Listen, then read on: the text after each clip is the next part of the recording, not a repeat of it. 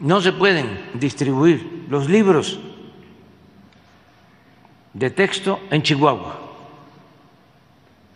Estamos ante un caso especial de una gobernadora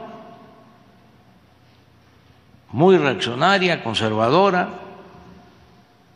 irresponsable y politiquera.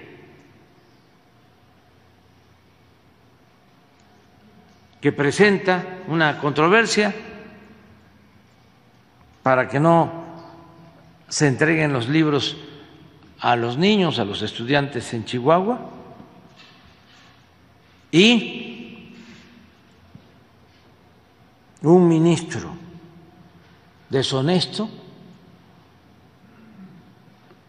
ordena que no se distribuyan los libros.